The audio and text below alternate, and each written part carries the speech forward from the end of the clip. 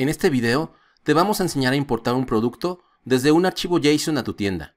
Ve a la sección de productos, listar productos y da clic en el botón importar. Selecciona el archivo JSON que se encuentre en alguna ubicación de tu computadora.